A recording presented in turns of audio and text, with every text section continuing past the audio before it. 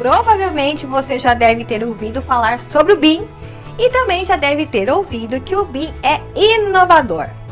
Ele é o sonho de todos os arquitetos que buscam por maior produtividade em suas rotinas diárias. Mas antes de ir direto ao ponto, eu gostaria de deixar claro para que você entendesse bem a diferença entre um programa CAD e um programa BIM. O AutoCAD não é e nunca será BIM. Durante muito tempo, o AutoCAD foi bastante útil, pois ele revolucionou o mercado e tirou o arquiteto das pranchetas físicas de antigamente e o colocou diante da prancheta digital. Dá até para dizer que o AutoCAD ainda é indispensável para projetos rápidos ou coisa do tipo. Mas precisamos entender que o cenário mudou. E hoje, projetos mais completos existe uma solução mais aprimorada. O BIM, o projeto de arquitetura base, já não se trata apenas de linhas simples de representação, ou seja, linhas e nada mais. É tudo sobre modelagem e informação. E o que isso quer dizer? No AutoCAD você desenha puxando linhas, limpa, corta extremidades, para desenhar a mesma coisa. Enfim, a linha que desenha a parede é a mesma linha que desenha a porta e a janela e assim por diante.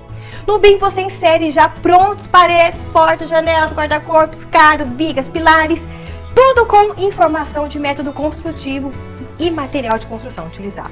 Portanto, se você vai modelar uma parede externa de 25 centímetros com acabamento e pintura, você deve escolher uma parede com essas características. Se você deseja modelar uma laje com determinada espessura e material de construção, você também deve selecionar a laje com a especificação desejada.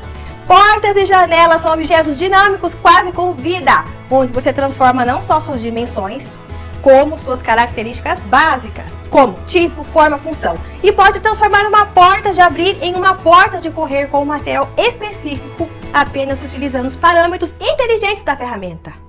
Além disso, o desenho 2D que você desenha no BIM já automaticamente se converte em 3D. Por isso, a maquete renderizada não será mais problema para você. Não será necessário exportar nada para outros programas, pois tudo está centralizado no arquivo original. Ah, e você sabia que a partir de 2021 o BIM vai ser metodologia obrigatória para projetos, principalmente de prefeitura? Por conta disso e pelos inúmeros benefícios e facilidades que o BIM nos traz, eu afirmo: você quer atuar como arquiteto profissional no século 21? Dominar o BIM é pré-requisito obrigatório. Se você não sabe, procure o mais rápido possível aprender, pois você já deveria estar sabendo. Muito bem, pessoal, espero vocês então no Mundo BIM. Grande beijo e tchau, tchau!